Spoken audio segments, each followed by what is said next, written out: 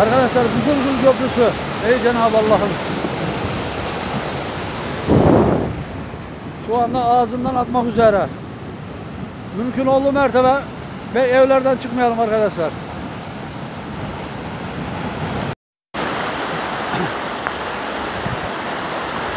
Allah'ım sen bilirsin ya Rabbim.